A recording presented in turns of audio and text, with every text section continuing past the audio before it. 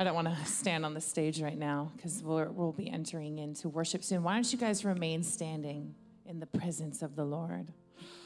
Um, first of all, I want to just welcome you guys to Seek. You made it. Some of you drove far, some of you flew far. Welcome, welcome. We are so excited that we get to be together. These gatherings are honestly, honestly my favorite time of year. And I'm always so expectant because I don't think I've ever left one of these gatherings without a fresh encounter with Jesus. And it's an absolute honor to run with Ben Dianda. Can we just give honor to Ben who puts this on for us? Um, he'll be leading this morning, and I'll be jumping in um, alongside Jackie and Tracey, who are going to lead us in worship. But I wanted to start us off just reading the verse that's been burning on my heart for us this morning. So if you just want to close your eyes and open your hands, this is what I believe the Lord is going to be doing with us this weekend. Jesus, we love you. Song of Songs 8, 6, and 7. Set me as a seal upon your heart, as a seal upon your arm. For love is as strong as death, its jealousy is as fierce as the grave. Its flashes are flashes of fire, the very flame of the Lord. Jesus, I thank you. Your love is flashes of fire. Your love is the very flame of God. Jesus, we welcome your jealous love. Whoa, your jealous love for us. We open up our hearts these next two days to allow the flashes, the flame of the Lord to consume us that Holy Spirit, you would set your seal upon our hearts. Waters cannot quench love, and neither can floods drown it. Lord, we want to experience and encounter your overwhelming love for us. So, no matter where people entered into this weekend, whether they're carrying a heavy load or coming out of a chaotic season, wherever your heart is right now, I just want you to allow yourself to lay every burden at his, at his feet this morning, to just kind of come in here and even lay down your expectations. Just lay down yourself again. Just come. Wow come and allow Him to refresh you with the flame of the fire of His love.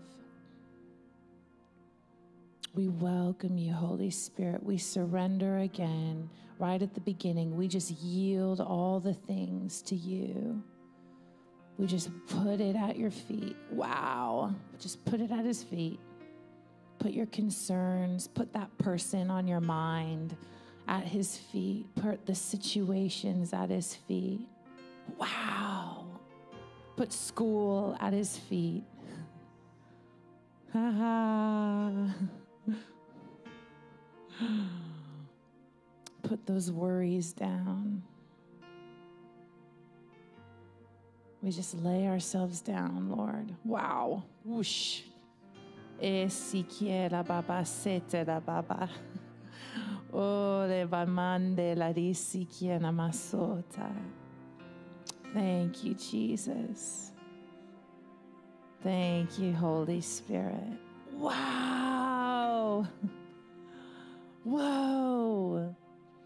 The wind of the Lord. You're going to begin to feel a wind is just coming in and blowing off the residual. He's just blowing it off right at the start. He's just going, just blowing all of the dross away. Thank you, Lord. Whoa! We're going to enter in and rest. Woo! Woo!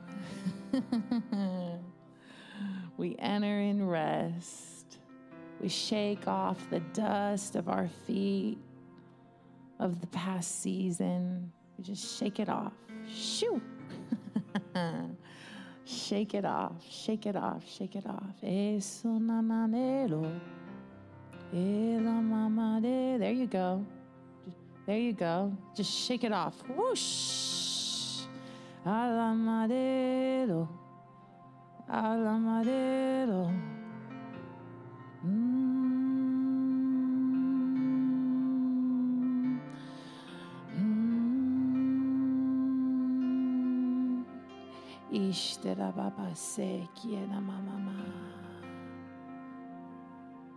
Thank you, Jesus. Wow. Hey. Thank you, Jesus. Thank you, Lord. Ishtera baba se de de de.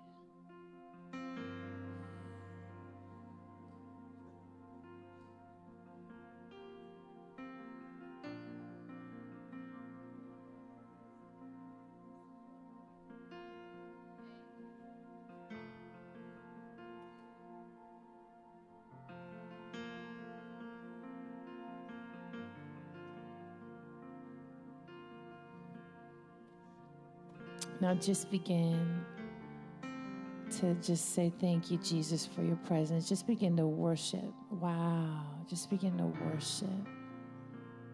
Thank you, Lord. Thank you, Lord. We're going in to the inner courts, allowing Him to cleanse us. He sanctifies us. And we just enter into his gates with thanksgiving and with praise. Just begin to thank him.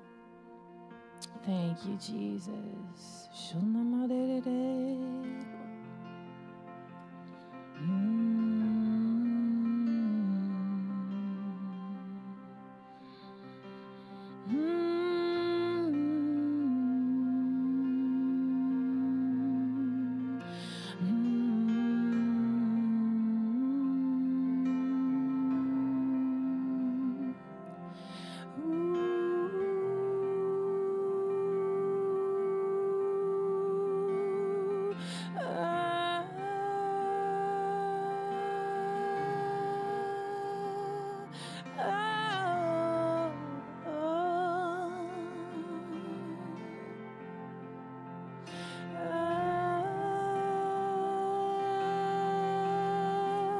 lift up a song.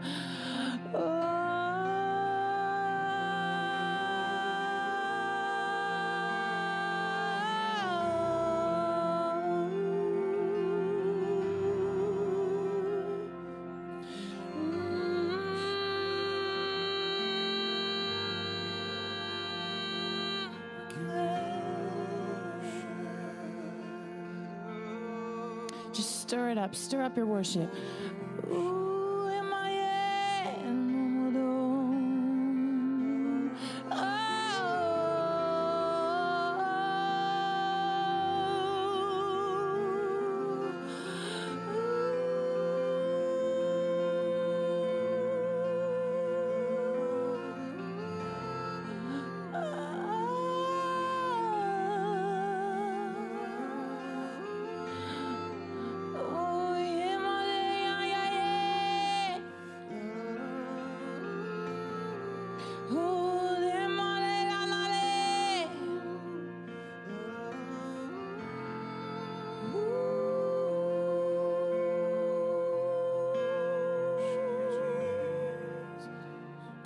Precious Jesus, Jesus.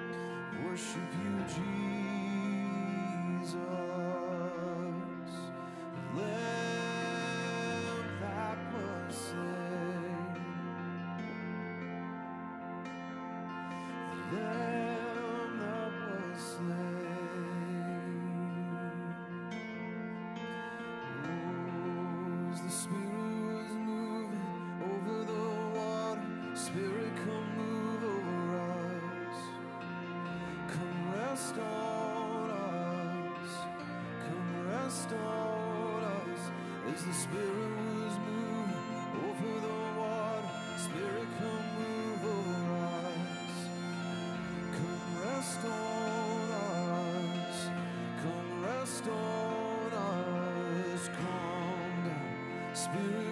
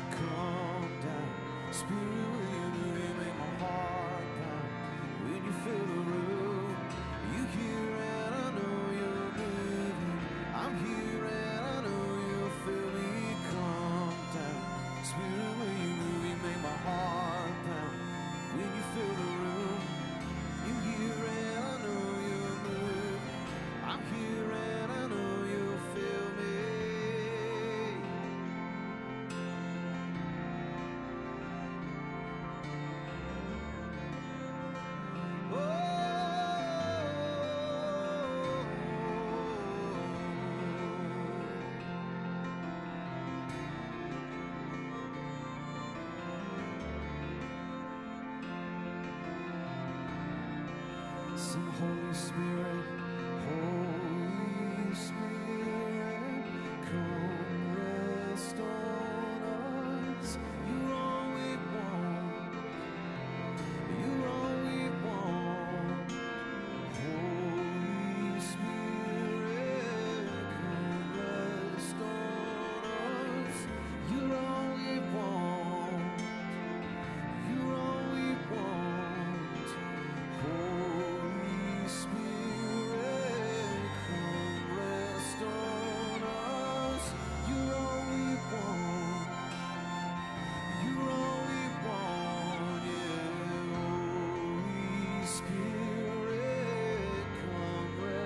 storm.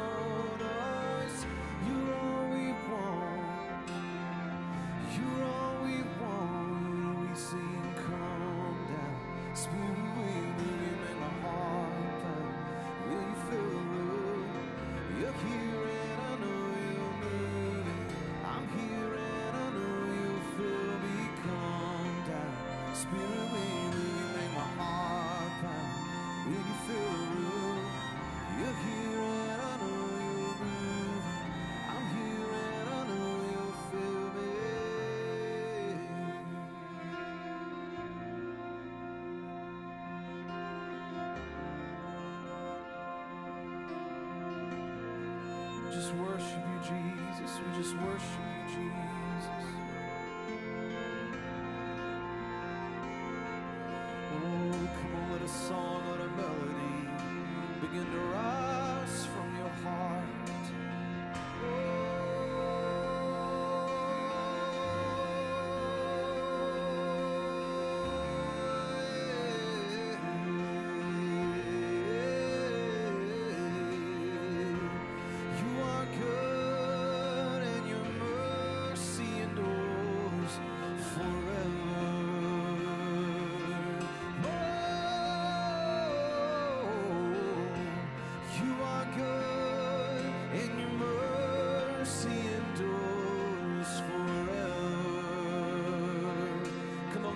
to lift your voices and say, You are good.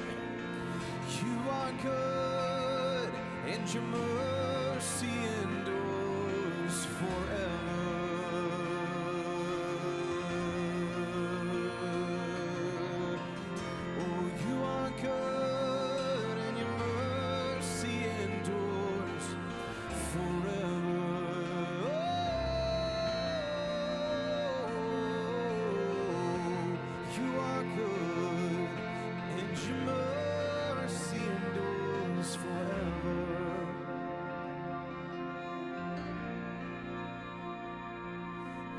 good.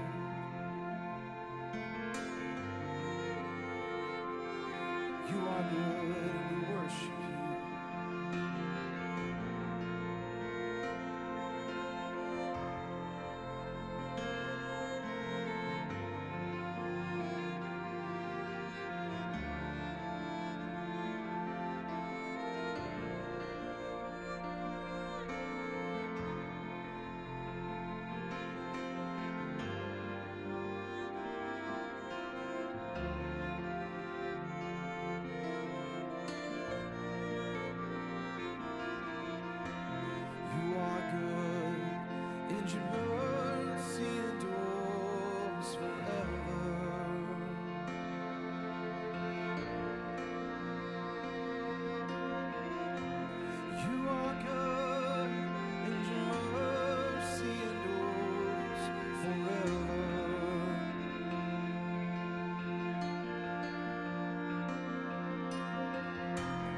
you are good.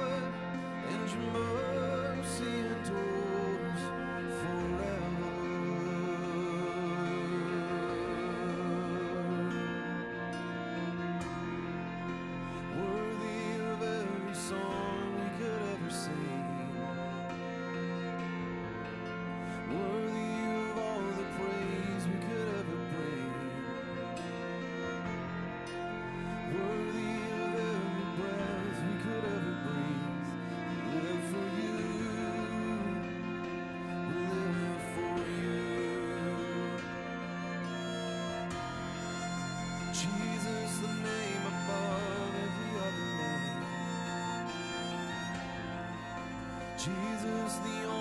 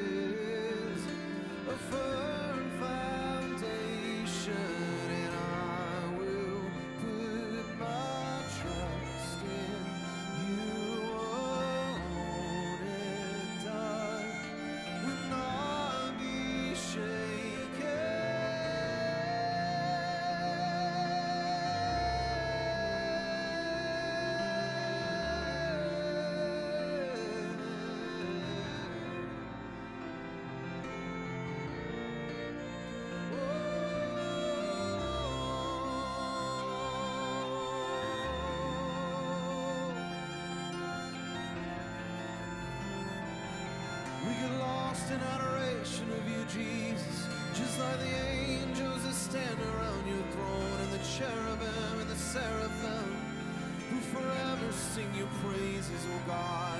We sing holy, we sing holy is the name of Jesus. We sing holy.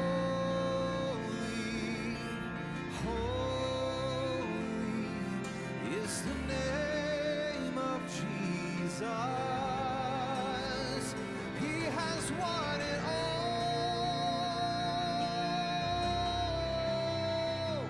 He's won it all. You have won it all.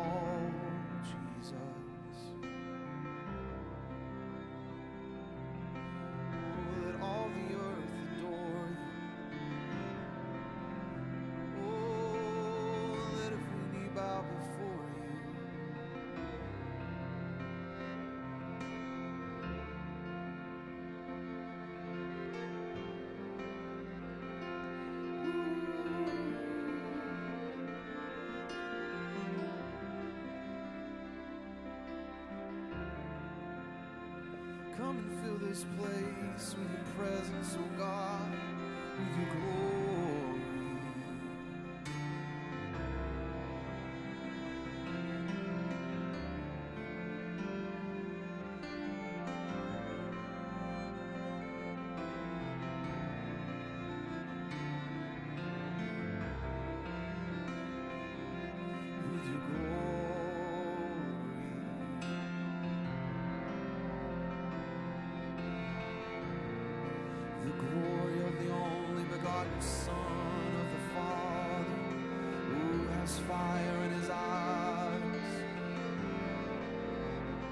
He's the Alpha and the Omega, Jesus, the name above every other name.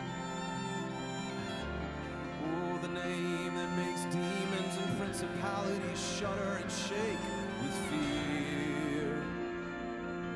There's no authority higher than the name of Jesus.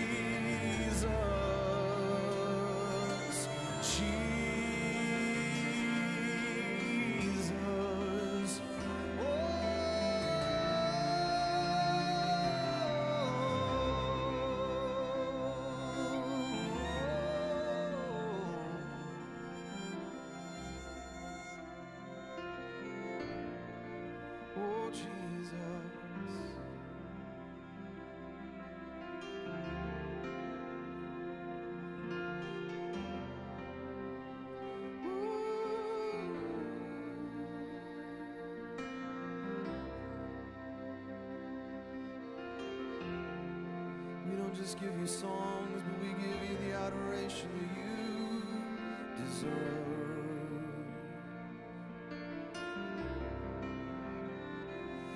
Just give you empty words, but we give you our broken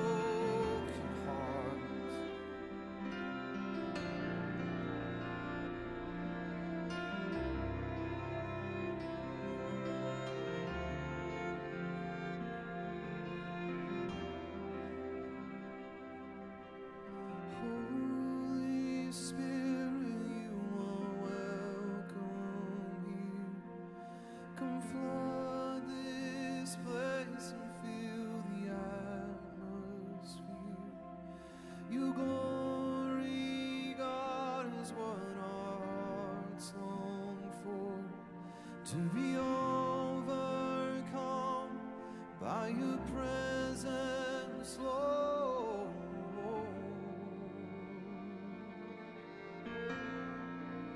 Your presence, Lord. Your presence,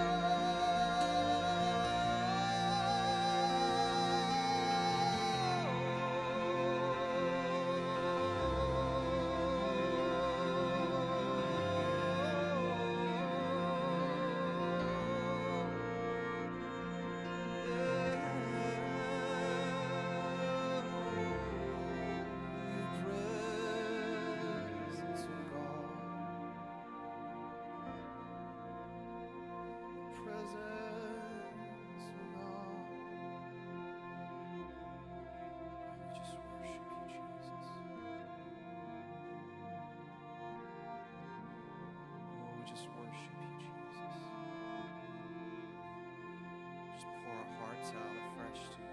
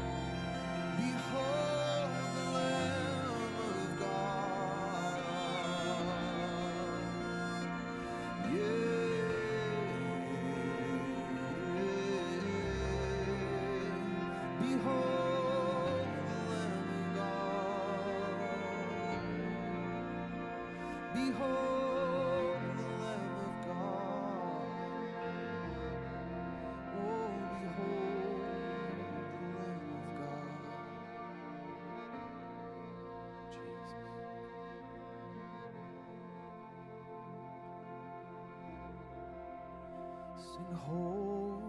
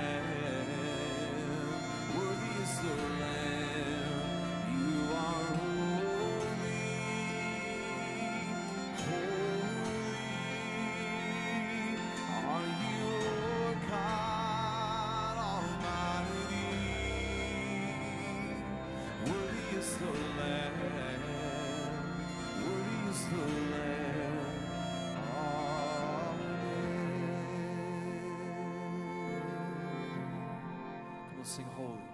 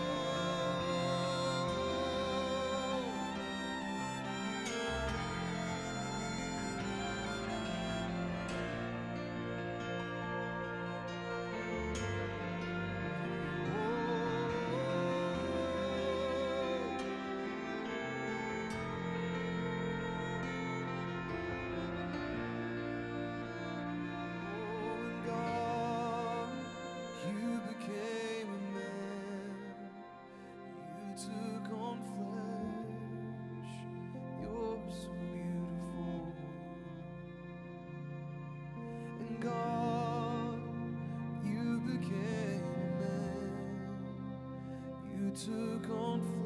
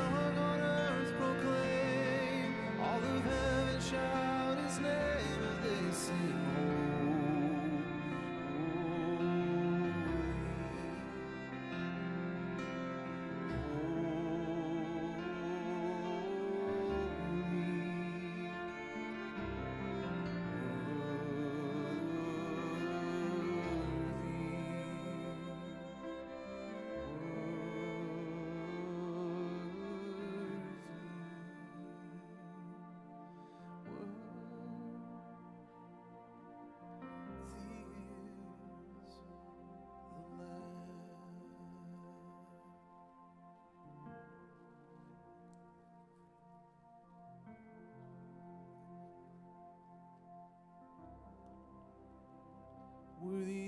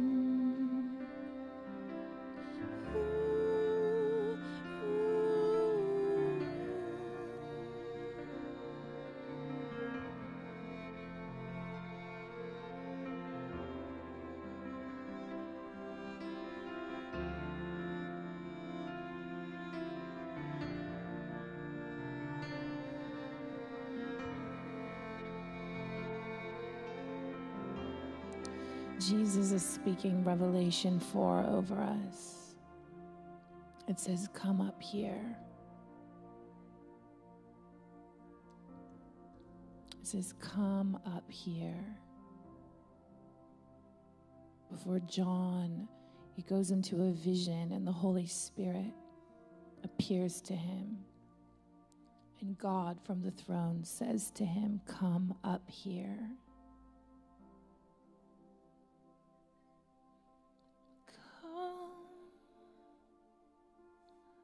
Up here. Come up here. He says, Come up here. Come up here. He's calling you to come up here. Yes, come up here. Ascended, we will come up here. Come up here.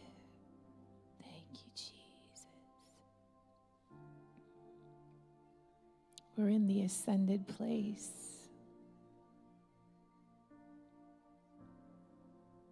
The place of his throne room. You can feel his holiness and his presence here.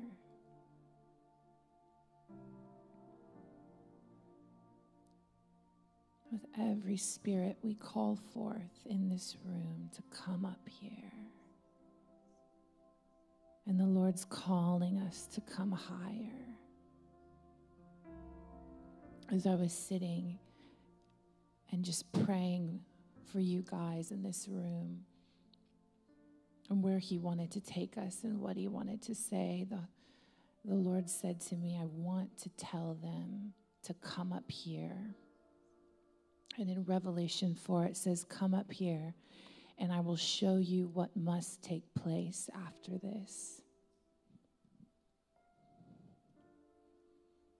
I'm going to begin to prophesy over you guys. So allow your spirit to just receive what's being said. And we're going to speak out these prophetic words. We're in the throne room right now.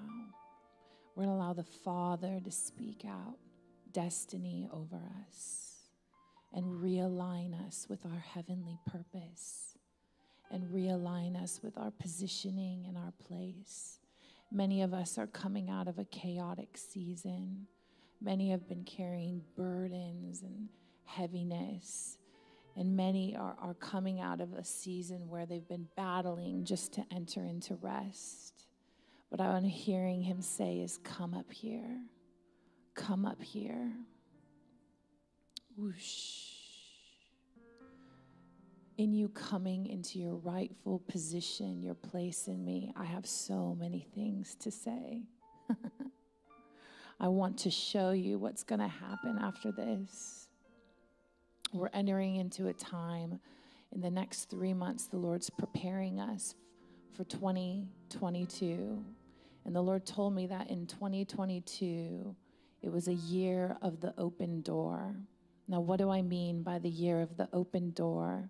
What I mean is, it's not just open doors and heavenly encounters. We love that. We want that. We're going to get that. But actually, in, in 2022, this was going to be a season where so many things that have felt dormant and that haven't taken place in our lives, whether it's prophetic words or things we've been waiting to come to pass, that actually that 2022 is going to be a year of the things beginning to align and open up for us. And that means that in that year of things aligning and opening up for us, I feel like the Lord's taking us out of this chaotic season, the hecticness of even what the last two years globally has been. Yes, can anyone relate with that? Hallelujah. but the Lord is is beginning to actually prepare us, and I really feel in this next three month period, what I saw as we were singing and worshiping is I saw the Lord just dipping us in the pool of his river.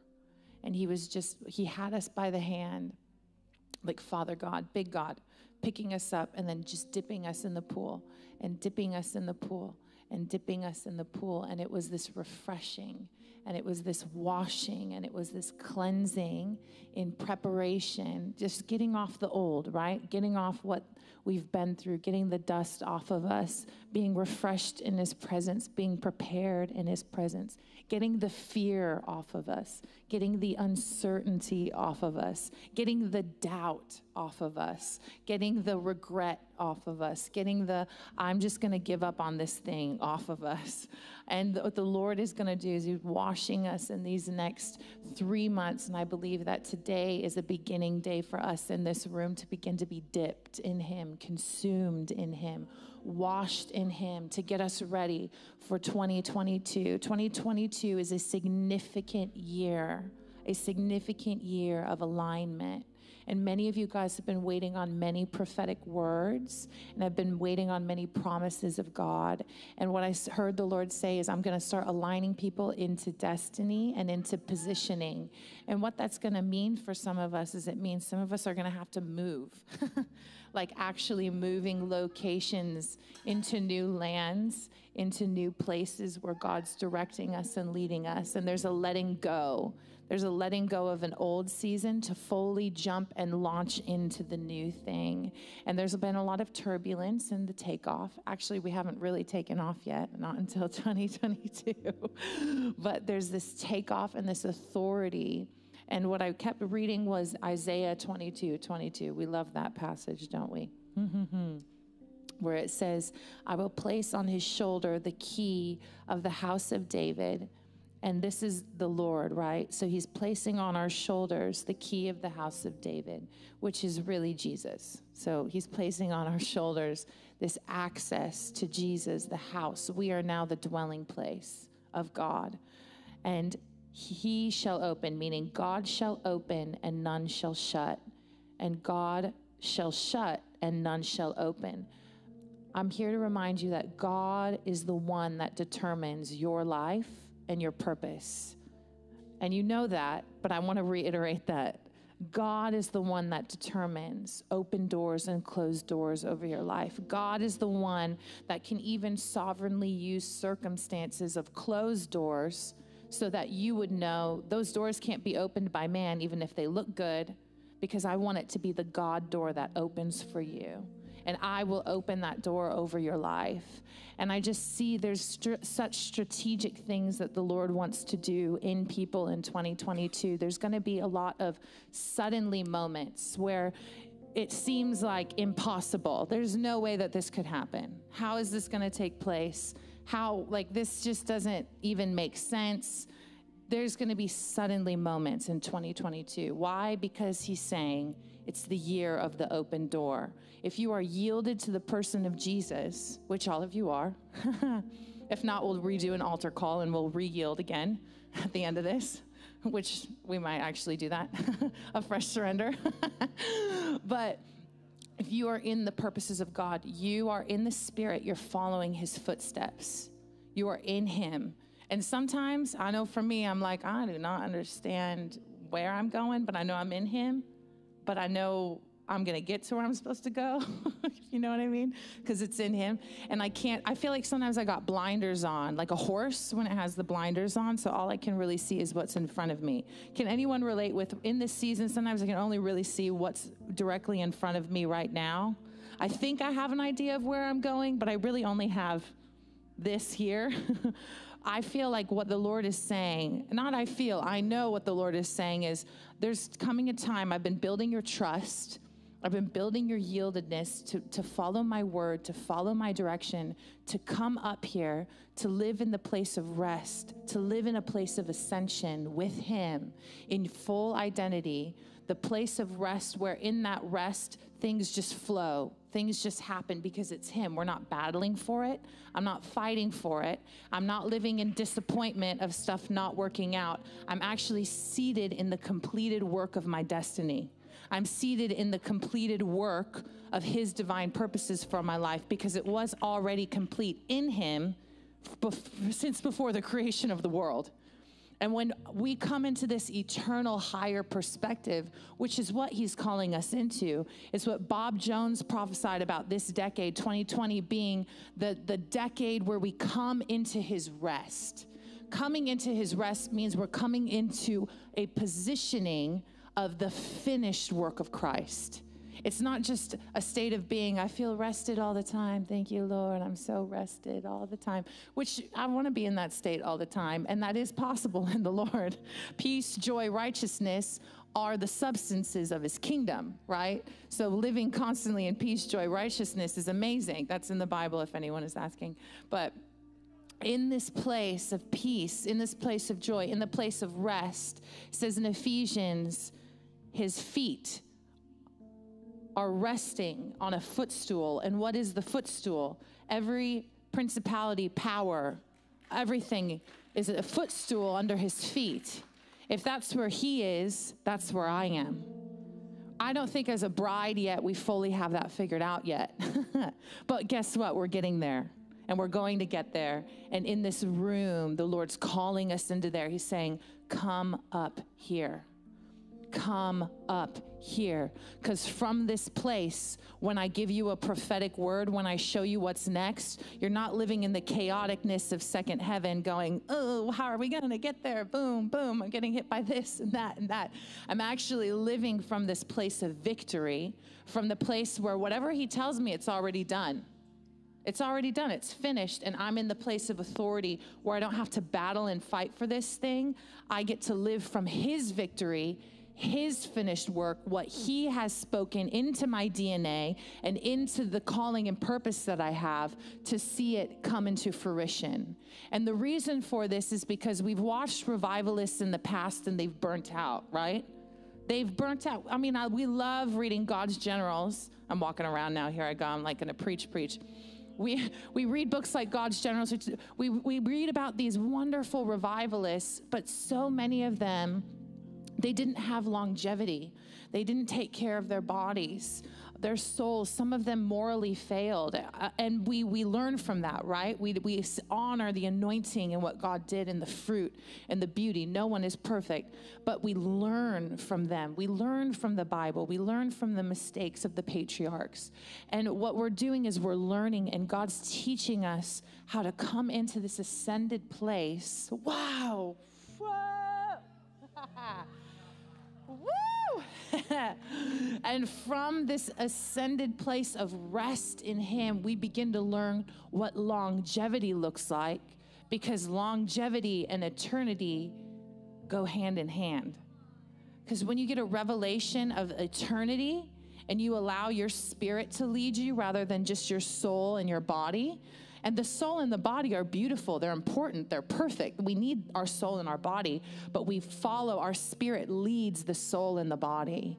And when our spirit, we're allowing our spirit to be led by Him, it is bringing us to this place where we're going to be seeing and i love what bob says i'm, I'm I, I just i have such respect for bob jones like we're going to get to a point he said in the, the last days that a generation isn't going to see death. There's literally going to be a generation that does not see death. This is the finished work. This is what we're headed toward. This is what we're moving toward. I don't want my babies to see death. I don't know when I'm gonna have babies, but I don't want I want them to come into the finished work of Christ and I want my ceiling to be their floor because every generation passes that baton off of what we've fought for, what we've won from generation to generation to generation to generation.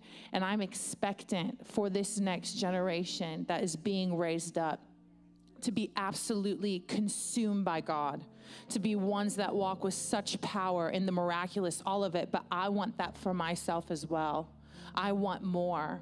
And I'm telling you guys, 2022, the Lord's aligning us. He's getting these things in us sorted. He's showing us longevity. He's putting us into a position of rest. There's actually a grace to come into acceleration of this revelation. There's actually a grace for it if it's been spoken out by the prophets, I like to receive it for myself, right? Like, well, if they said it, then I'm taking it, okay? but wow, woo, he's getting us ready and he's aligning us with purpose. And even in things that have felt like delays, or even things that feel like, well, this dream just hasn't been fulfilled. I don't know when this is going to happen. There's such a sovereignty and grace from God of just knowing divine timing and knowing when the time is right. But I have felt such an urgency in my spirit that we're in a suddenly season. And even in coming out of the chaos of 2020, 2021, I've never seen anything like it. I don't think many of us have ever experienced anything like this ever. But I almost feel like it's going to be a ha ha from God, like in the face of the, the enemy that's like, ha ha. You thought you stole a year and a half of people's lives. LOL, joke's on you. I'm actually setting everyone up for destiny and bringing them into rest. Cool. So, just to encourage you guys, you know, if you've been in it, because I've been in it, all right? I'm speaking from personal experience here. I feel like I've been through a refining fire. But the gold and that ring, that signet ring, that seal uh, that's set upon our heart, that's the Holy Spirit. It's His Spirit. It's the ring, and, it, and it's going to grip us. A ring grips your finger. It's gripping us in covenant with Him. He's gripping us, but there's been a preparation of the Holy Spirit in us through sanctification, through refining fires and seasons that He allows to happen in His kindness. I'm not saying everything was okay. I'm just saying the Lord will use it because He works all things together for good. So just know this seal is being put on our hearts. He's gripping our hearts in love. He's gripping our hearts in his goodness. He's dipping us in the refreshing river right now. He's preparing us and getting us ready for this coming season 2022. I'm, I'm telling you, watch what happens in this coming year. Like I love timelines and time frames. This is why the prophetic I honor it so much and it's so important. It gives me perspective, it gives me vision for what's coming. But he's been telling me, Hannah, stuff is opening up in this coming year and people's hearts need to be ready. Whoa. Like people's hearts need to be prepared. And, it, and, and the preparation is really just rest. it's not like this, like, I need to get myself ready for all the destiny that's going to open up over me. Huzzah! Like, it's like, yeah, great. Let's celebrate, get excited for these suddenlies that are coming. But honestly, the heart needs to be readied in rest. And in rest, it's going to be easier to let go when God says, hey, in the next month, I need you to move to this city. Hey, in the next month, I need you to let go of the people that you've loved so dearly because I'm actually calling you to a new place. I'm calling you to a new job. I'm calling you to a new thing. Don't get too comfortable in what you've been in, even out of survival. Because he's like, no, no, no, there's actually more, and my grace and my impartation and my anointing oil is gonna be on you for this next thing. Because a lot of us are crying out to move in power and in anointing and in purpose, right? Well, you start moving in power, anointing, and purpose, we don't think about the other side of this, and Jesus walked in it, the pull that comes, the responsibility that comes with that, the safeguarding of yourself in a healthy way that comes with that. So many of us cry out for, but we're actually not ready in our character to carry this thing. And the Lord's been getting us ready. He's been getting our character ready. He's been purifying us, preparing our hearts to carry the weight of his glory the way that Jesus did. He worked in a timeline. Jesus 30 years 30 years in intimacy with the Father. He just he he waited and waited and waited in this beautiful timeline and then boom, it was time. Ministry was ready to start and he was ready for it. He was truly ready for it. It wasn't like, you know, he was released right at 20 years old. It was like, no, we have a time frame on this thing. So, no, no matter what age you are, there's a timeline God's working within, and there's a character and a purity that He's building in your heart. And that purity of heart is really just a single focusedness, fo- focusedness in Him, right? Purity of heart isn't just about not sinning. That's done at the cross. We get to now live as new creation Purity of heart is really our heart posture toward Him, always from Him and in Him and through Him. So just thank Him. Just begin to, you know what? Thank Him for this last season. I'm, God, I'm thankful I went through a refining fire. I feel more ready. But we're never really ready. We want to be relying on the Spirit. hey, but I want to encourage you guys as the next two days, wow, um, roll over, and you may roll over.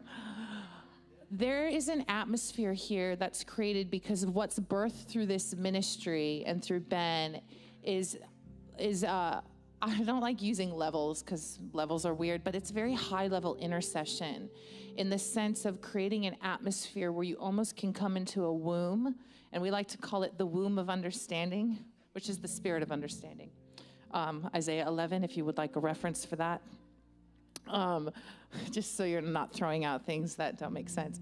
But what happens in this space is you encounter Him but many of you are going to begin to encounter because you've had someone praying for you and us. We've been praying and intercessors praying for you, where you come into this space where prophetically, he says, Revelation 4, let me show you what's to come.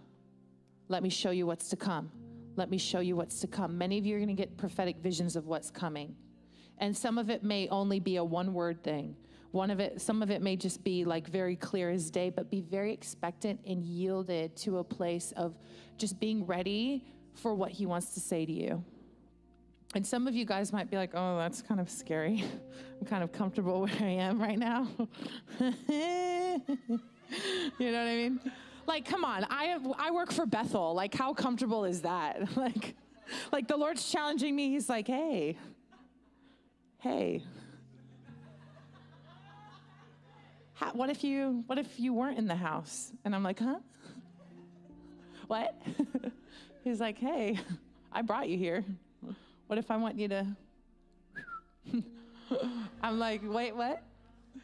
I know we've talked about that before, Lord, but I don't know what you're trying to say right now. He's like, well, are you? What if I asked you to go? And then you really have to face it. Wait a minute. Wait, wait a minute. What if he asked me to go? and what that means. It's like that, that means letting go, letting go of community you've built, of a pretty comfortable position in a really great job, in a really great place, working for Bill and Chris. Come on, we love Bill and Chris. but it's this yieldedness of heart because I feel it happening. It's time for us to be open handed and ready for the suddenly moments, for the open doors of destiny that He has for you if you feel, I want to activate you, if you feel, whoa, like you need to, to give a, a fresh surrender over, I would love, what? You're like, he's like, I'm not gonna be able to stand. You can stay seated if you can't stand. But actually, I'm gonna have what I'm gonna have uh, Jackie and Tracey play and I just want you to do a little bit of business with Jesus this morning, coming into this weekend and, and getting ready for Eric and Katie and Richie and what's to be released, to just really freshly surrender. Surrender your plans, your ambitions, your dreams, knowing that in 2022, open doors means your dreams will be fulfilled. But it doesn't mean we grip them to make them happen. We live open handedly in, direct, in direction by the Spirit and allow Him to let it happen, right? From rest.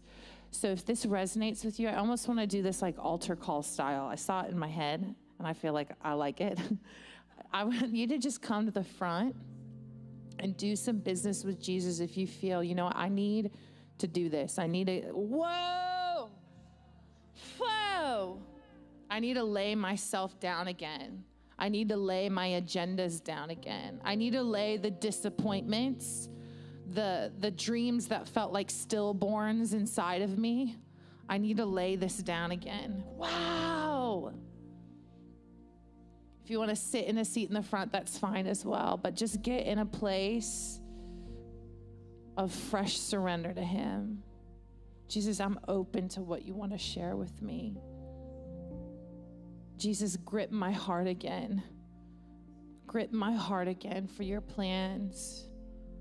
Remember your first love. When you're madly in love, you're going to do anything for your lover. The Lord's going to blow on, wow, like a fresh first love again.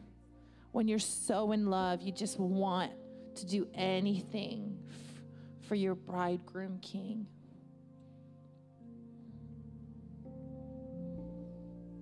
Thank you, Jesus, for fresh surrender by your Spirit.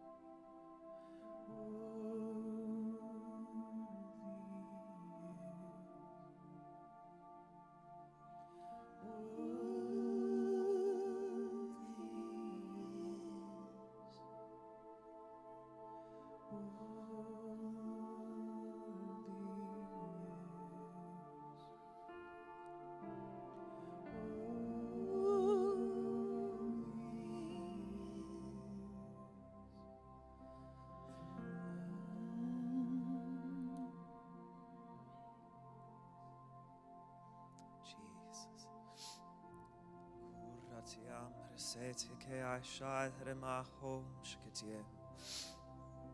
Uf, eskai. Dorsaka pratai, esko tombre ke sombro. Oh, living letters of Christ Jesus, the word from the beginning, be loosened in this house and fall upon the tons of these saints that are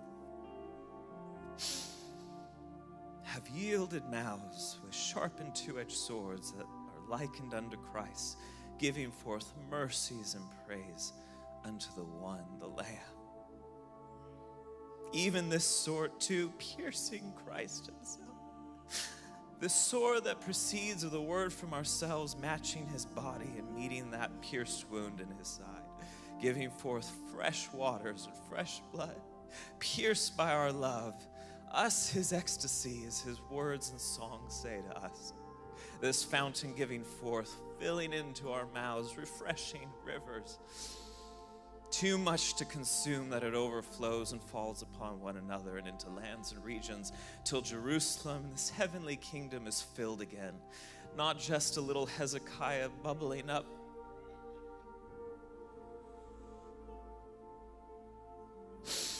But the fountain of Christ Himself laying forth into the land, no longer a barren desert and wilderness as Abraham saw, but we have eyes too to see, like Hannah said, Christ saying to us, You, like John, my perfect fashioned remnant, come up here. I must show you what is to come. You that I'm beholden to, only you alone, come. I must show you, come. So here we are in the realm of the saints.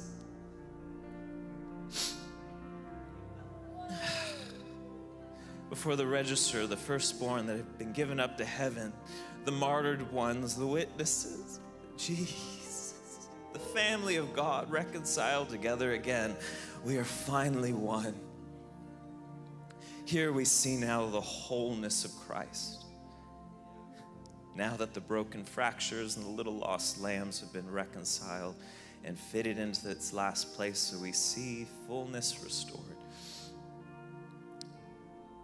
Only here in this heavenly realm where Abraham stood, we see the land of the kingdom of God, the promise that always was. Now we see by encountering what faith is, touching the man, faith himself. You, the rock and balm of Gilead, we lay forth our hand and touch this rock.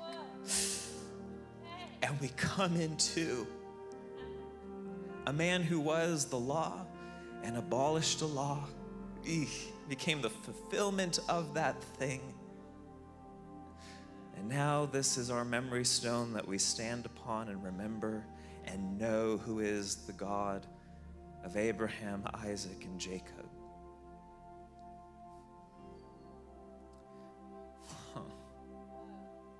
You that would name yourself after man,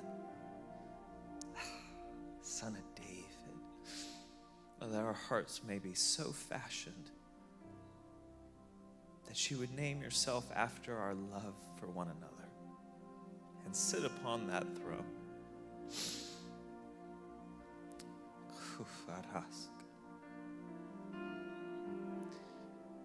We're arrested by the new development of the awareness of this love Jesus that we didn't know till we left Babylon and Egypt and Psyche to come into our first estate that we never should have fallen from. Fullness restored, knowledge, good and evil forgotten. We stand before a burning bush having left a kingdom that said that it was our Father.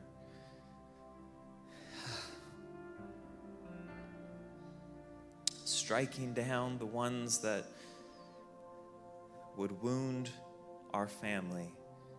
And we're driven out as Christ was into a wilderness, and we're driven out into a wilderness as Moses was to find him, to be with him. Till all that was of the kingdoms before disappears, is completely forgotten, is no longer our formed identity. As we're healed and restored, we don't remember what once was, but all we remember was where Christ was in the making. Eba, the testimony himself.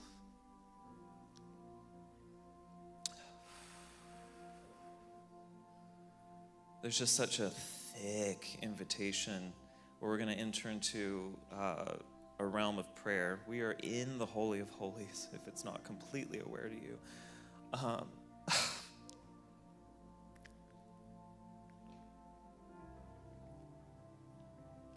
I heard him say, he said, You, my sacred remnant that I tore from my side, I dispersed it into the earth and fed it like manna to man so that they would know the sweetness of my life. Eat of the bread of me, the wine of me, and the blood of me that pours through thee. That they would come into union and be wed to me. Come. And we say, Come.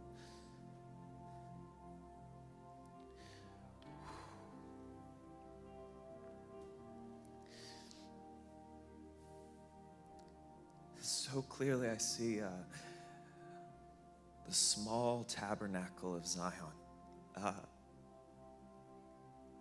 pitched here and humble benches to sit upon and a small space for a remnant to gather.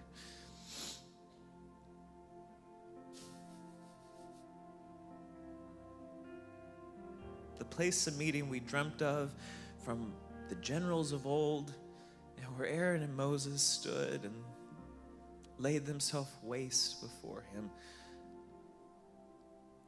I saw Christ carry his own ark up Mount Zion. A humble king that would carry the first priest's own ark up to the Father to sit upon.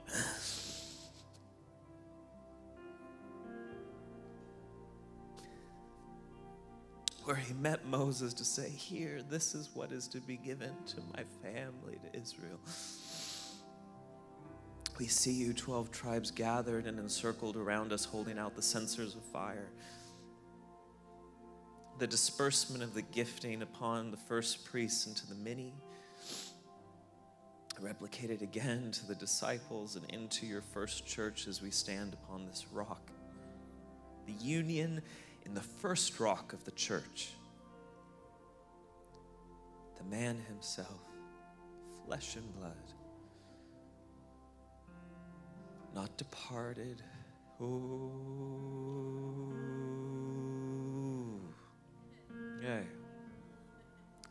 Hamarake.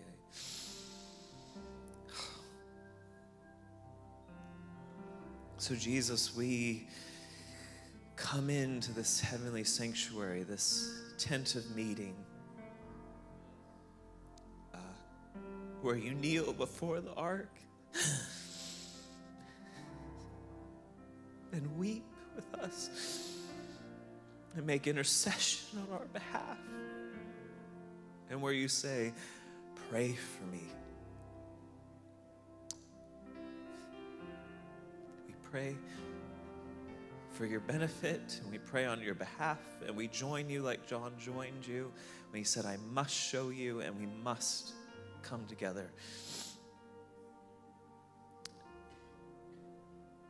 and I see that scroll opened and laid forth before us to be read of the things that are to come, that He wants to become so clear. These are the things that are to come. You, my beloved, I must share with you. I must impart to you.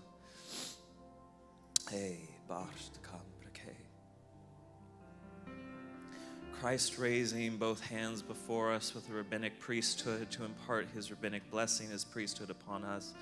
I see our hands upon his hands and receiving a commissioning of anointing from the oil that's flowing from his person. Don't you see him kneel before the ark drenched in oil? It's given forth from him, and you can smell that fragrance that which was he was anointed for burial for, and to be brought into new life with and unto.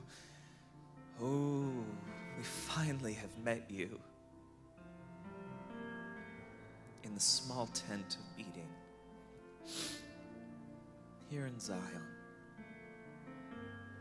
Like Moses, we come to that burning bush. And this is holy ground.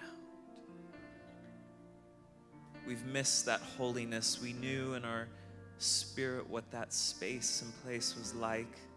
We've hungered and craved after it, but been forlorn and grieved for not understanding. Did I go off? Ooh.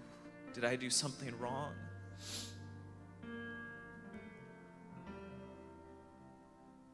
And just like he told me when I got sick most recently, he said, You did absolutely nothing. And with that surety in us, we know that these lies that we're hearing and passing through us and is said by those of the earth, they have no binding around us. They have no binding around each other. We're given to Him.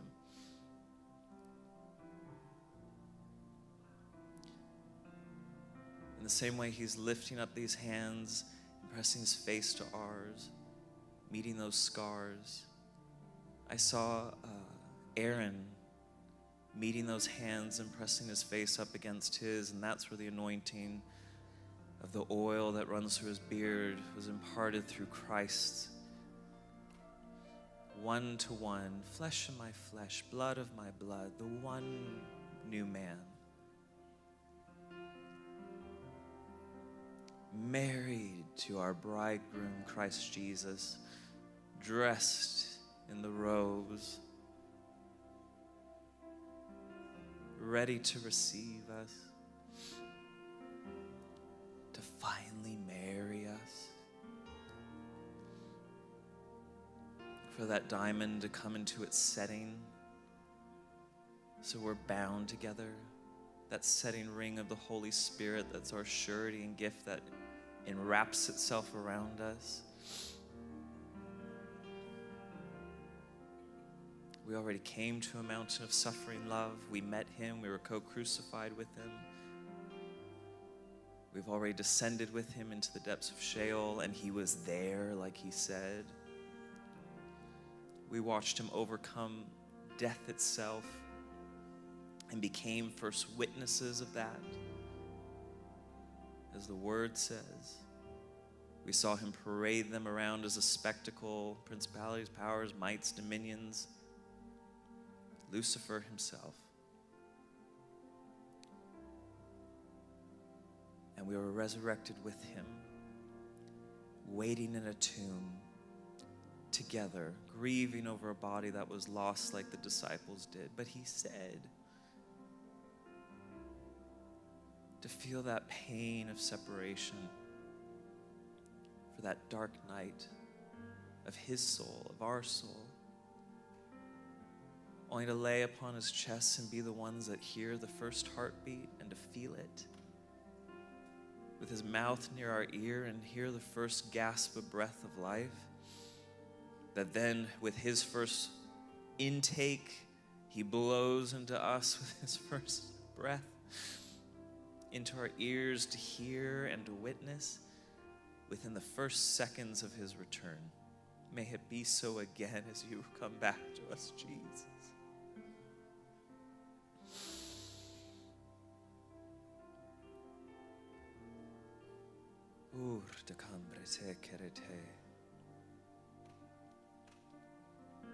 Ur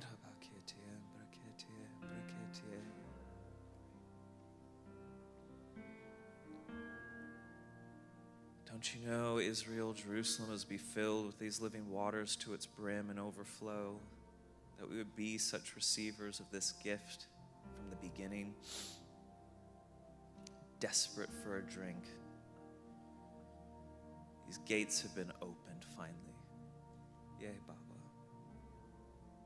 No longer wandering through hidden tunnels, caves, and divides to find nourishment and safety. We're finding it here in His creation.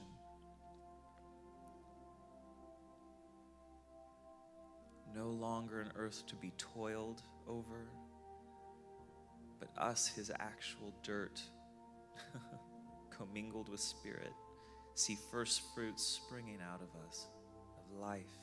This is what fertile soil was to look like. Ooh. This is how rich it was that a seed would barely fall to the ground and it would spring up with life immediately and turn to face the sun and smile at us as we walk by. This is was how it was supposed to be and is. If I only had eyes to see that now we have been granted Jesus. We will never leave this place again because we've tasted it, we've seen it, we know it, and there's a record of it in our hearts and our spirits.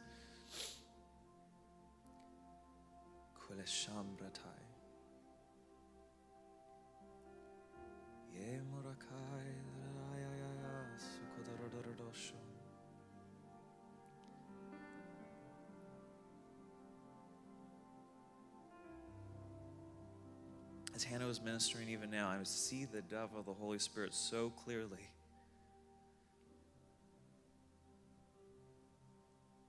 Still and gentle, but will go from one side to the other. Look you straight in the eyes, and you see his eyes of fire.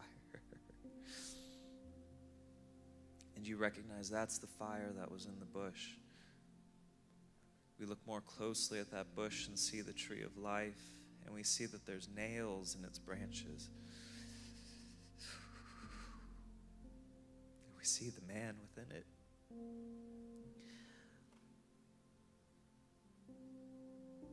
And we see us within it. Together with him. Somehow there's a realm in this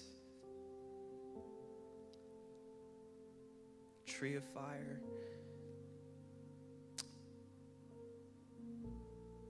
We've been engrafted onto it.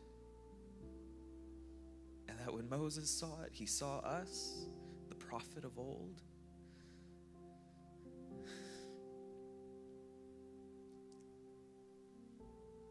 The branches of this living tree. Whew.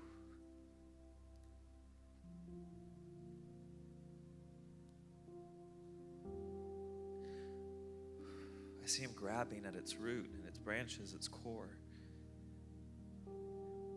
So hungry for God that we would grasp a bush that is burning and find we too are not consumed unto death, but actually find vigor of life in it like we never knew.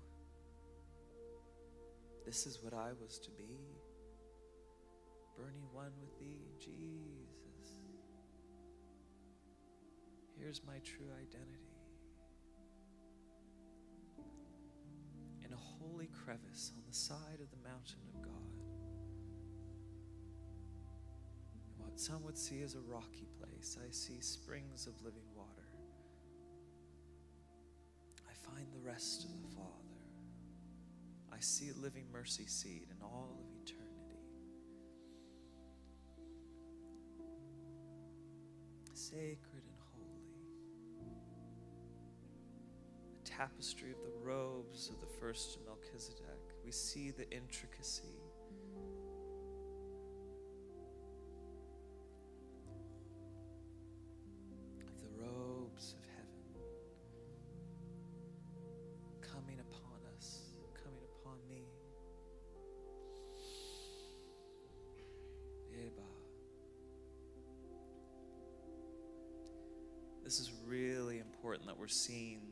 First priest, Christ Himself.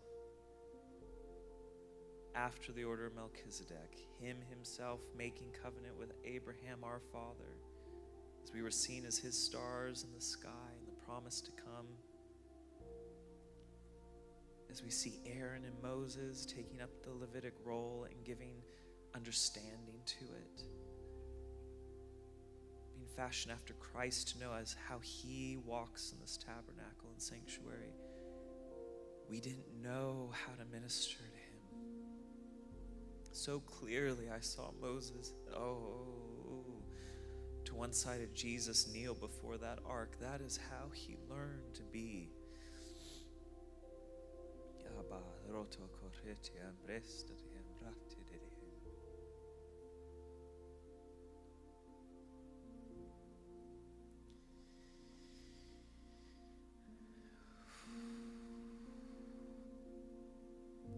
as Jackie and Tracey uh, go up, as we actually ascend through this mountain of the Lord,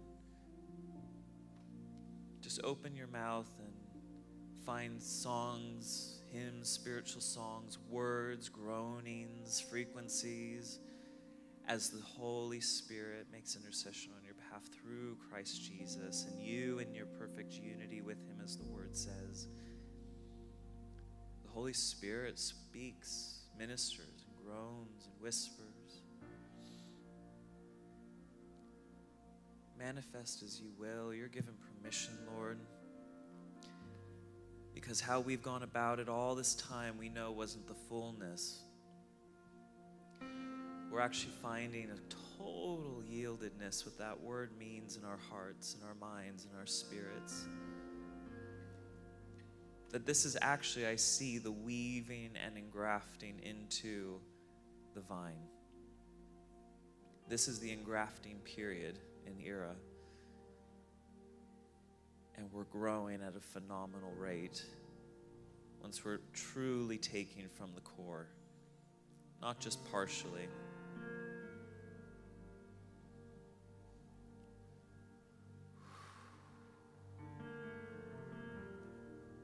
So, Lord, we come up through these gates, this archway of trust, with rapturous praise, carrying with you this ark as priests of the sun. I hear those keys dangling from your side of life and death. So, how could death ever descend upon me if I follow this man who carries these keys for me? The continual reminder of victory every time I hear them jingle, clink, dance, and make melody. Even the way he moves, we hear that song.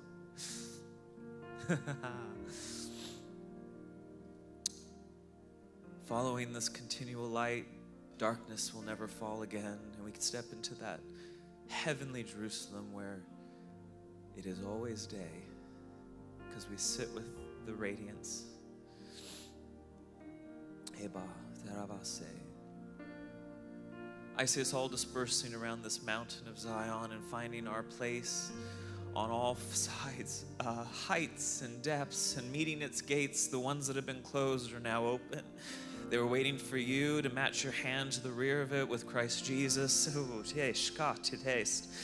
Just yield and agree as we go into a time of intercession, this praying for Him. I see Jesus matching us on the sides. Wisdom, come and stand at the gates with us and give knowledge and understanding. Knowledge at our right, understanding at our front.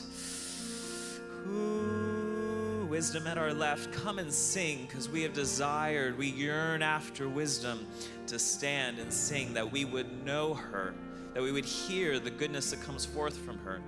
Not that she has any forth of agenda, but actually imparts the revelation of the gift of God by just her presence. So, with that, I see a simple just click of the latch from the rear of the gate from Zion, so that on one side of the forest it is open unto them. Those that have dwelt in the forest, who thought they were mystical and lost in the new age, ooh, kara, serre, sabrate, encamping around a fire that was false, it kept them slightly warm, but not warm enough. But they actually feel the gusts and the breeze coming forth from the heights of Sinai that are now pushing through this gate that's been opened ooh, by this one remnant to the west side. Oh, show. And they actually recognize that fire goes out. Oh, kissed. Yasham, sketim, titiem, roskataim, setim. And they went, it's been lost, it's been forgotten. All I know is to follow the wind. There must be a more powerful source. And here they are. They stand at the gate, and somehow, with revelation, wisdom, and knowledge, they actually touch the kabod of Christ as they come through its doorways and are anointed with its oils that Christ put at its top and on its side and are met with the blood itself. They actually meet and are taken into salvation by touching the blood that was put there by Moses. So death now passes. And I see some of them watching the ones that have fallen from the outside, and they're running in because they saw how the firstborn were taken from them. And they said, I will not be taken. These ones have found the true light. And they immediately are found before the Father who sits before the throne, or on the throne, but I mean before the tree of life that's been transplanted into its height where we stand far above all principality, power, might, and dominion, and every name that is named, not only in this age, but also in that which is to come. For he put all things under his feet and made him head over all things to his church, which is us, his body, the fullness who filleth all in all. So you are filling all in all. There is no naked place in this mountain of God. He was waiting for us to return. And I saw where Jesus has been pacing back and forth, praying over the trails where we would stand. And as I've seen Moses send this mountain, we too follow after you, who saw the prophetic picture before us with Abraham. Oh, and Elijah transfigured us too. We would stand at this gate like John and see Christ transfigured as he was every time he prayed and join with the first prophets who he told. It's like coming back to the bush. This is what they were seeing. It's the other side. Moses stood at the bush and saw Jesus. Jesus stood in the garden and saw them where they actually gave forth and said yes to the promise. So we're saying yes to the promise from the side of Christ Jesus, from this garden. Yes, katien. Because that's how we meet you, O family of God, is through Christ Jesus Himself. You gave us the abundant entrance. So, you on the south side who follow out into the oceans that have been lost and other spirits have hovered upon it, they've already been laid waste, forgotten, and drifted out into the far depths. The Holy Spirit's been brooding over these waters with anticipation. It's actually been extremely violent. But you that have the fountains of life that have come now to the south side, you are bursting forth the south gate and the waters are meeting the waters of the oceans, and it's filling again with the meeting of the Spirit.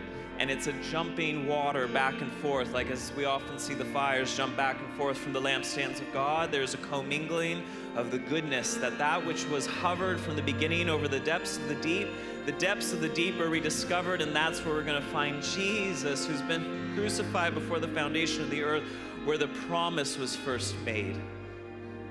I see the Holy Spirit as the waters pouring forth into this ocean, saying, This is where I was, and this is where I am to be, so come and follow and dance with me. Ooh, south, Garapa, Sembre. I see the ships coming in now that have been seeking safe harbor. They've seen, I actually see where so many of them had fallen upon the rocks. But we're now directing them with the light of God through this gate. Actually, the top of this archway of the gate is a fire and we've lit it together.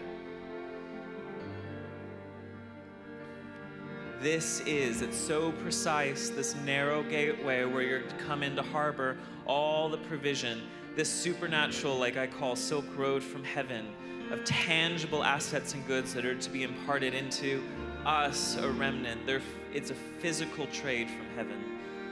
You've been waiting, you've been prayed forth centuries ago. This is where we come in. kurtakans getem rasesh dotam katai.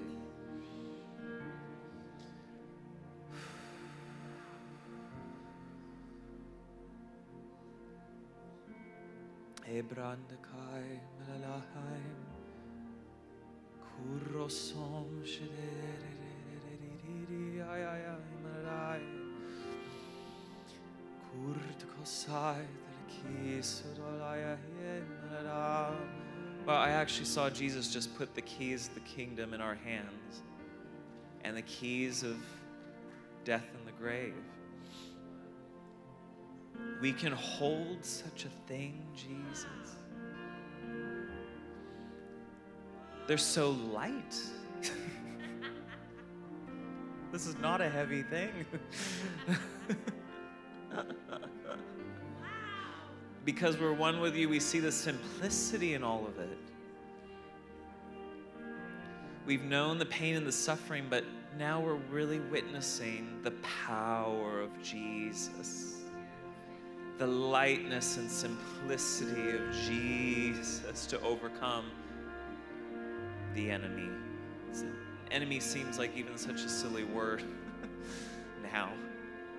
Like it's an obstacle, even. It's not, it's just so silly.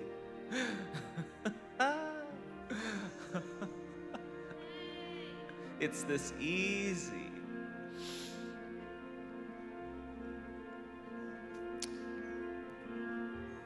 We love opening meetings like this because we're able to just minister to the heart so directly, and then the rest of it can be beholding Him.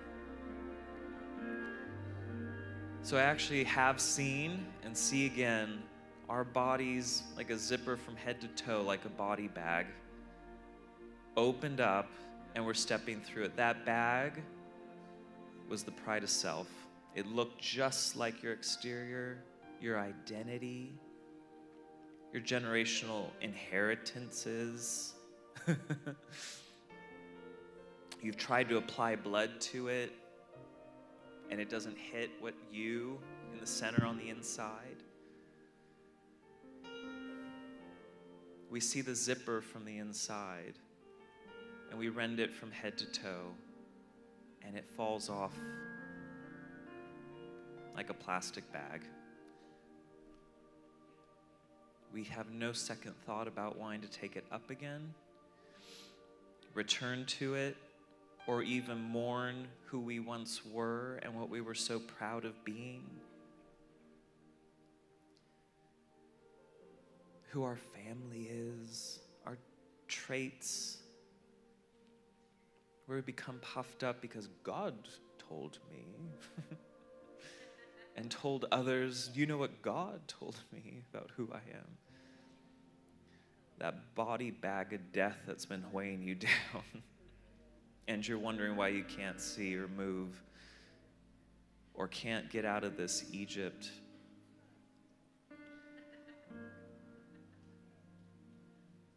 I actually hear the bags falling, they're so heavy.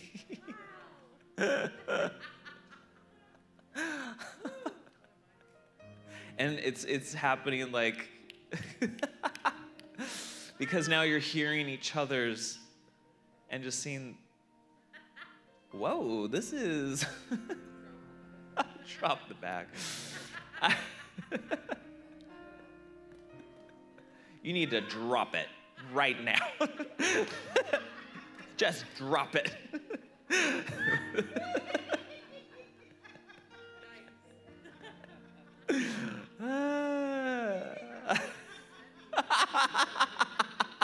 Ooh, some of you, you have a zipper in back and in front.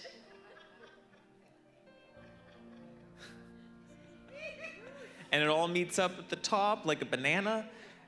Just. this full unveiling. And I see attendants and the ministers of God opening it up so it looks beautiful as you emerge. Because you're so beautiful. They're like, wait, wait. there we go.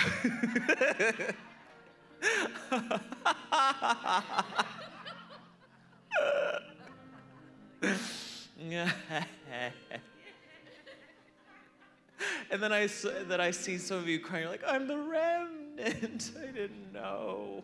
I didn't know. Oof. This is so important where we're going to go. It's a complete setup for this weekend. I'm going to lead you into an encounter, holy, that I had a couple weeks ago. And you're going to see how well it dovetails, especially with Katie's um, message. Whew. When pride is stripped off, you see that being that had a right to cohabitate with you because it feels good, honestly. Like, if you've ever struggled with depression, it feels good. you know, I'm not saying as a testimony, I'm saying as you're dwelling in that falsehood, it's self feeding, you know, that victim mentality, you know, like give us attention. Us is a good term. All my pieces and parts. give us attention. yes, you know, feed this identity crisis. As we've unveiled ourselves for who we really are, those were like the walls of Babylon, you know? What's falling in front of me? It's like spider webs falling. Whoa. bye bye. Um, pride looks like this very spiritual, godly being. I mean, Lucifer, right? What he appeared like. It's blue, it's radiant. And even as it leaves, you go, Was this? Yes, this was good that it left. And the reason I know it's not of him is because when it leaves me, it meets the spirit of death in the back and they leave together. Death and pride are bedfellows. Pride comes before a fall. and where is deliverance from death in perfect humility and rest of just saying, I believe? Eric and I were talking about that last time we were together. That that's all we have to do. Just believe. There are no other works. but do we believe like he laid, like Eric shared last time? That's the difference.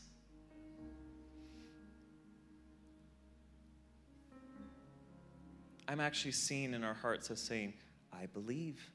I actually really believe because where I thought I knew was the spirit of knowledge, or sorry, not the spirit of knowledge, the tree of knowledge. And that's why we say we didn't know because it was a false impartation that carried death with it. We needed the spirit of knowledge, the true original, and understanding with it. So,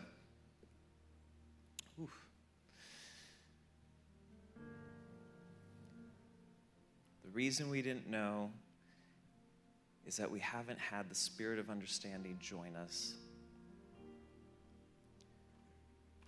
with our wisdom and knowledge of Him.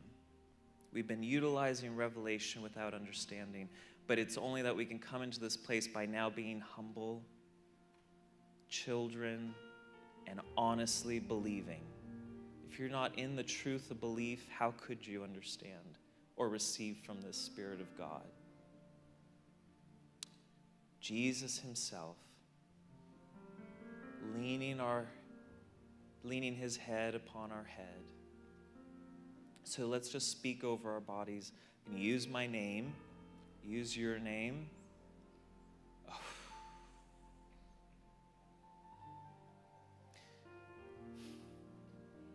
Land of Benjamin, I bless you. Oof, oof, oof. this land that is married unto God, as in Isaiah.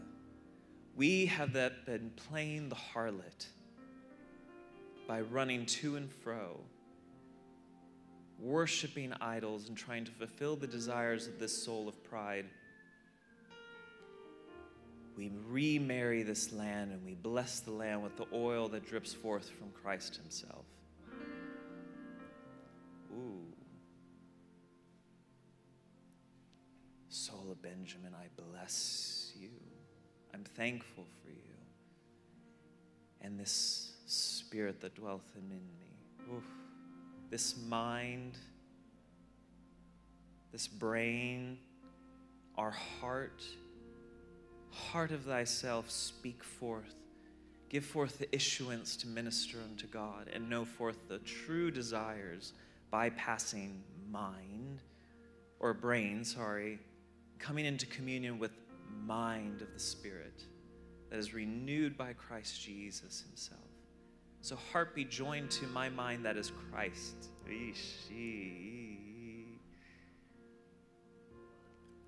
Don't you see these gateways open in your soul?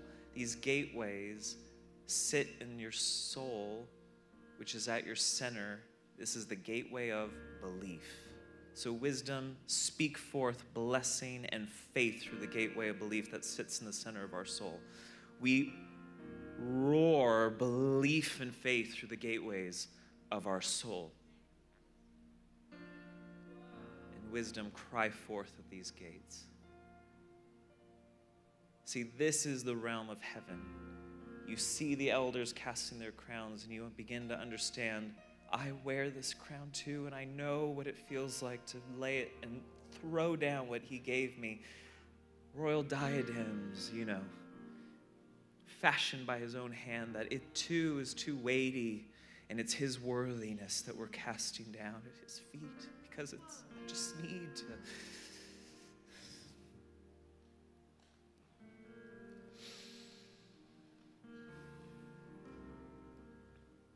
So, where I haven't understood, I lean my head upon you, understanding. There's no other way for me to grasp this.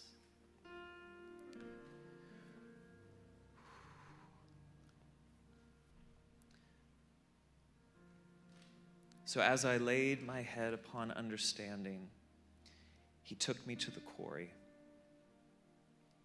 where I've been at the base of this holy mountain gathering stones in preparation for his coming, for my ministry, for what must be my purpose, for our children and our children's children. That as actually we believe that as we bring these stones to this holy mountain, we'll begin to fashion steps that we can stand upon.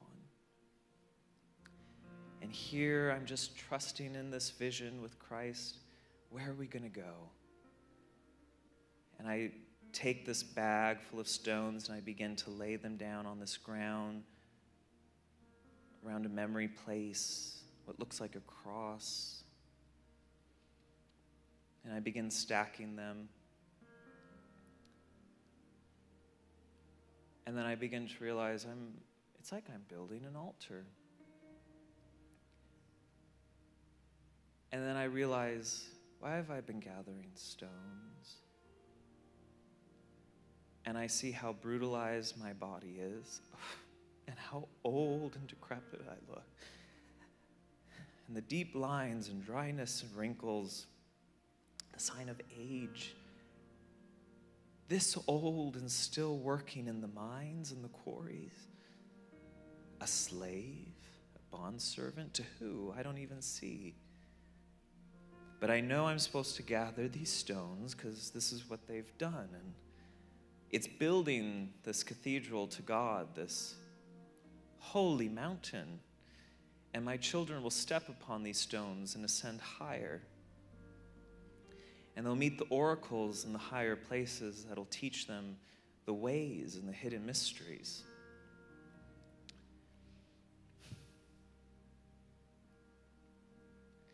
And now I see myself, this child, in a higher place on the mountain before this oracle that's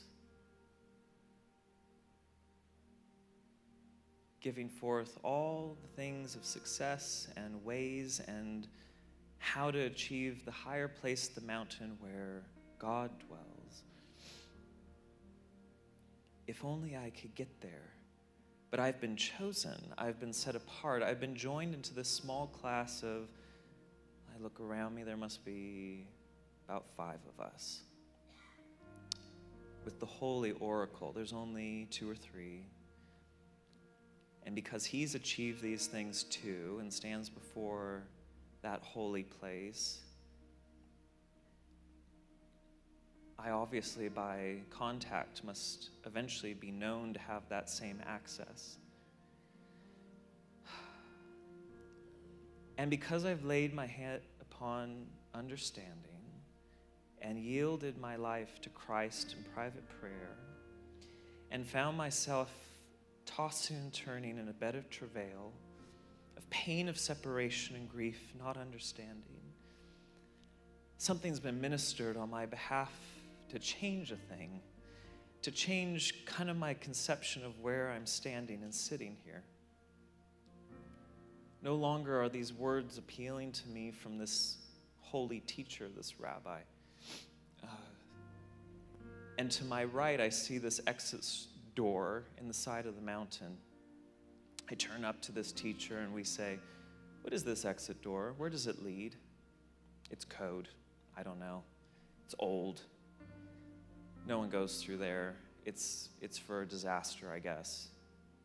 So fixated on that door because everything coming from this teacher, everything coming from, you know, all these other students around this oracle who I can't stand any of them because they're all.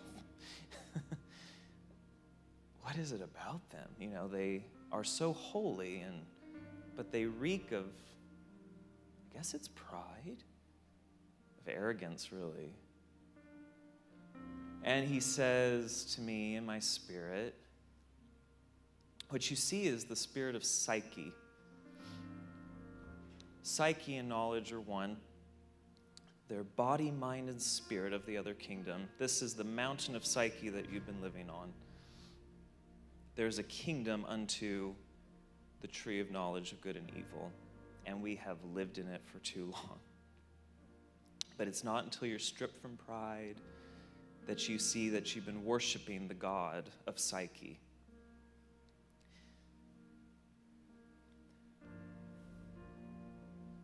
I get up, fixated on an old rusty door, and I walk through it. I don't know where it goes, but I'm just done with that place. And all of a sudden, the mountains start moving and shifting around me. And I see living letters come forth on these walls. I see gateways open and close.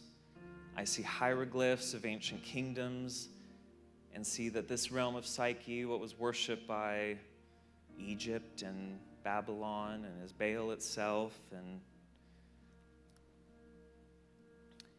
and there's Moses. to confirm, to say, You've been delivered. That's the same way I left. They don't know that they're slaves. They're puffed up with knowledge.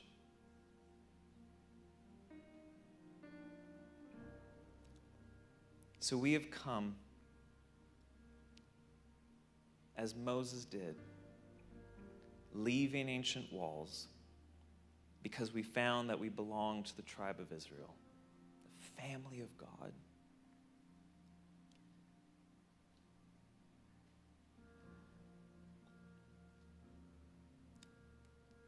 It's Moses that didn't have Egypt on him anymore. And I know that this is many of your stories too. That's why we've come before the bush, because as Moses was a deliverer, so are you a Moses company to go back into Psyche and rescue those other ones. That's what we did today. We put the blood on the gates. We know the name of our God, the I am. And as I even saw today in worship, we're holding that rod that fashioned golden serpent that's Christ itself, and we're seeing the snakes of Egypt fall and be laid waste and consumed. And again, it's like those keys of life and death. It's so light. It has nothing to do with our power or the holiness of our walk necessarily. It's that we said yes and we believed.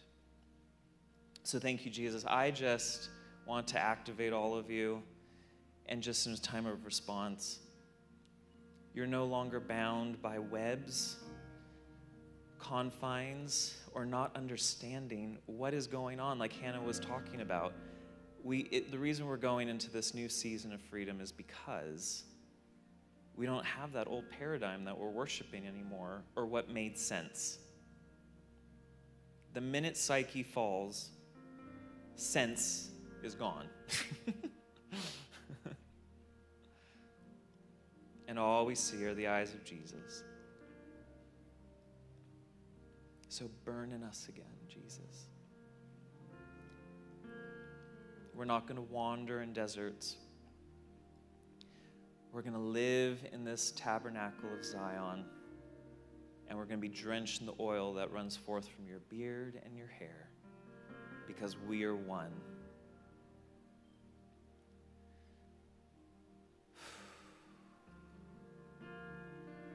Because that, we've forgotten death and pain.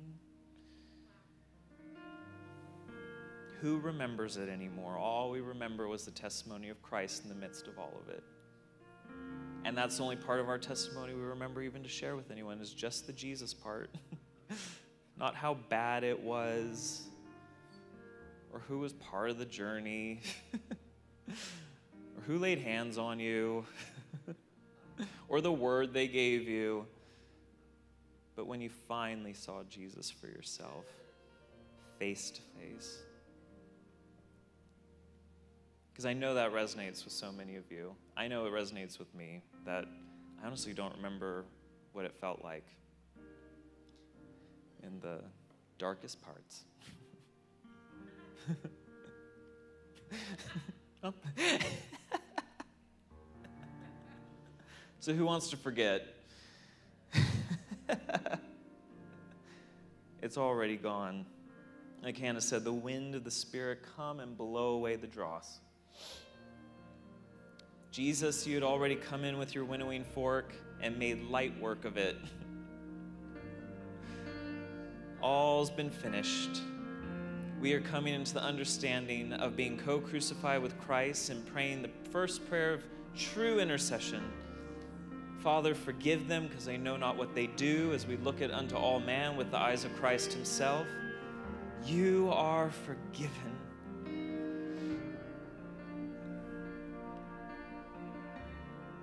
Father, us too, as one with Jesus, we commit our spirits into your hands.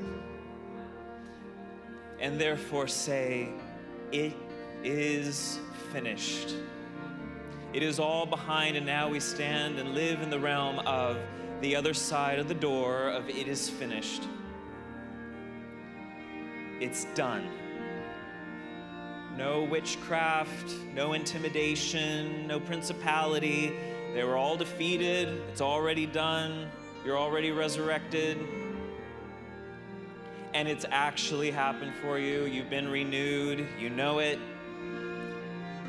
It is finished. I say into your spirit, it is finished. Your soul is resonating back unto God. It has been finished, and you have won. And I know it, and I believe it. I have the faith of God, not my own.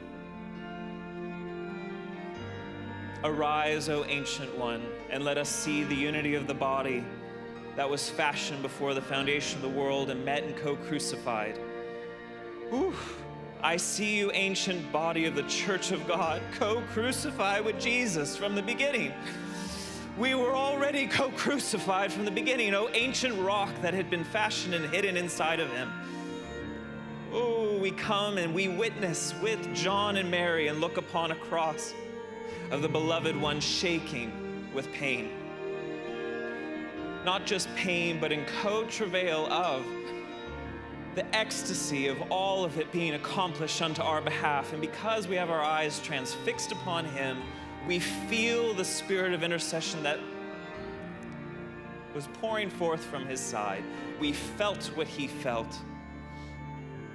John felt what he felt. Mary knew his mother closer to him. She felt the same pain, just like you feel your child's pain. That is co intercession. Our lives are intercession not just when you lock up in a room and pray. The acts of Moses and the prophets, they went on a journey and they all testified of Christ. So as we move about this earth, we are testifying of Christ. We're writing the Gospels and Apocalypse of his return and what it'll appear as. God, even as we move in this space, we are witnesses and heirs and testimonies of the coming of Christ Jesus.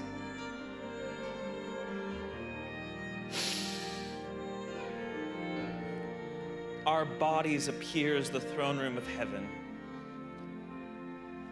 Our faces shift unto your face and of the four living creatures that surround us as we sit on the throne in Him That as they, any man would look upon us, they would see the elders surrounding us. Ooh, gosh, and the elders too crying out, Holy. And in the distance, we hear the maiden's song of the song of Moses of how our deliverer, our warring king, ugh, he made light work of them and he drowned them in the sea. No chariot will ever come again after me. Even Pharaoh himself has been lost and his child has died. There is no more line unto Egypt because there's one king enthroned upon these lands. We will not build our kingdom upon foundation stones of ash and dross, but only stones marked by the blood of Christ Jesus. The gates of hell will not prevail against it. It's already finished. He said it. It is done, and this mind is renewed. This is the mind of one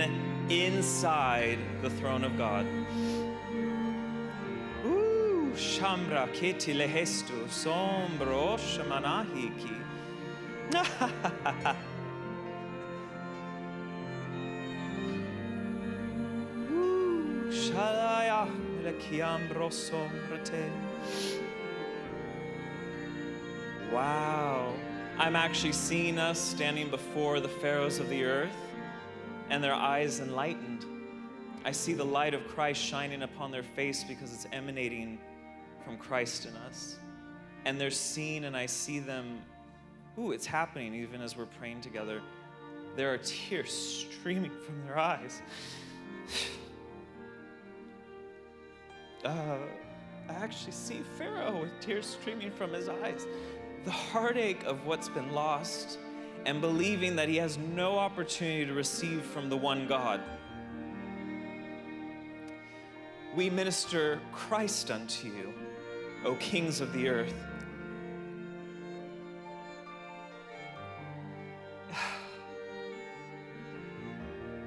It is only by him that your generation shall be saved. uh, oh, wow. Uh, they're falling to the ground and and all at once the hand of Christ with holes in it upon his head and he is delivered. Your kingdoms of the earth are delivered. I see jesus telling them oh your kingdom's been delivered. Uh, it's finished. It's won. It's Look up. You don't. Oh.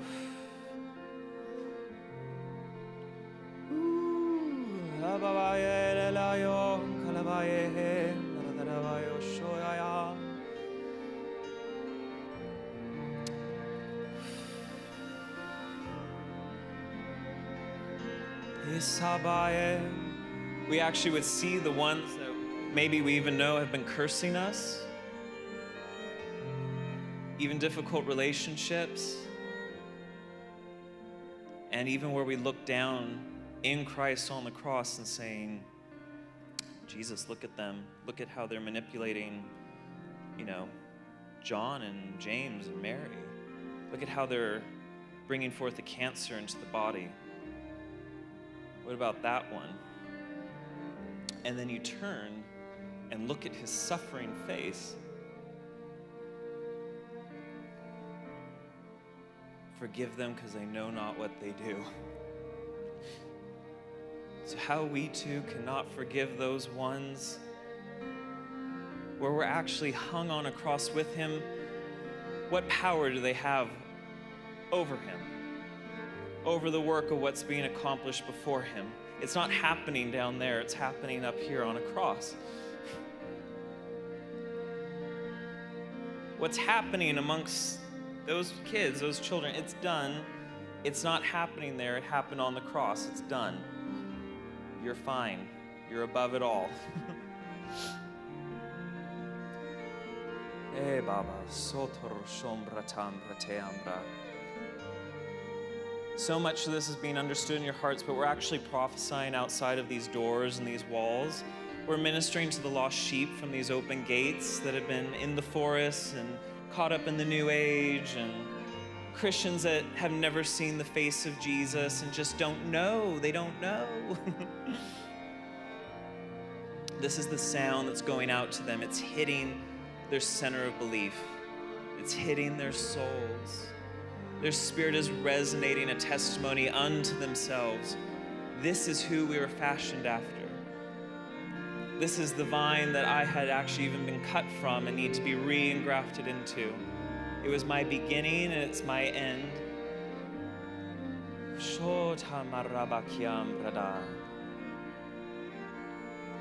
I just see such hope being released into the earth. I see smiling sheep in the distance because they know what's over there. They know what happens after they come through the gate and that they can have it. come on in. come in. Corta cambrase. Do you see how light this work is of prayer? That it's not the old way of praying, that it's not, whoa! it doesn't hurt when you know it's done. And you're not just having to read a decree and try and believe it, you actually understand it because He showed it to you. And you're agreeing with His heart. And it's actually through this realm of understanding and infused knowledge of just believing that it's, it's accomplished in your life of intercession.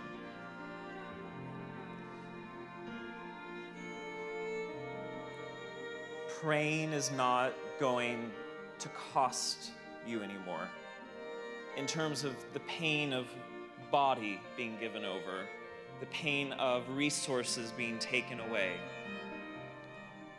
You're not going to be feeling like you lose anything or even weary from it anymore in this place. It's actually just going to keep building and ascending and higher and easier and easier. This is where that rest is. Hmm. So, you intercessors, the judgment of Christ was spoken from the cross and has been wrought into the earth by a risen King.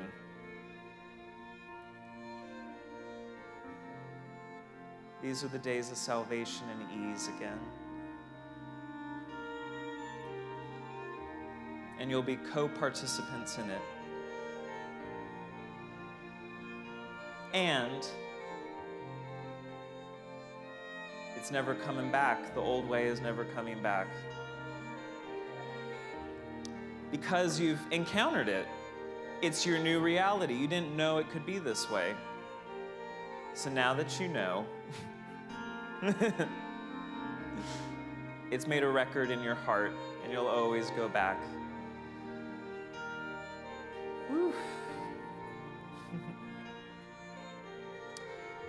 Wow, what a way to start, eh? um, I ate into your lunchtime, but this is our feasting, right? So if you need to eat, you can go eat. no, actually, this is an incredible campus. We feel so spoiled to be here and to be hosted by um, Crosswinds. Um, oh, gosh, I'm gonna lose it, but anyway just bless this place as you are about it. Um, there's like prayer trails because I know meetings like this. Usually, if I'm at them, I'm like, I have to go be with him. I can't. like, I need to be alone.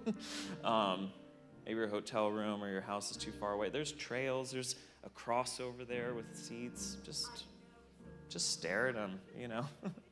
and uh, there's tons of places around here to eat. Google will show you everything and uh, and you know there's there's tables and chairs out there if you want to grab something quick maybe even and run back you can dine out there. And and then healing rooms too uh, is going to start now. Eight into their time. Sorry i believe do you want to yeah. Can't wait. Eric Gilmour is at the next session and more worship. And uh, wow mean, what, what happens next, you guys? it just builds and builds. Here you go. Glory to glory. Yeah, so we're gonna ask everyone to leave this room. Um, we're just gonna get some things set up for the healing rooms. Um, you're welcome to leave stuff in the chairs, and we're gonna rearrange everything. If you're gonna stay for the healing rooms, then you can line up outside kind of the way you did on the way in, and then we're gonna have you come in in maybe about 10, 15 minutes. Yeah, healing rooms teams, please stay. we need you, need your help. All right, we'll see you guys in just a few minutes.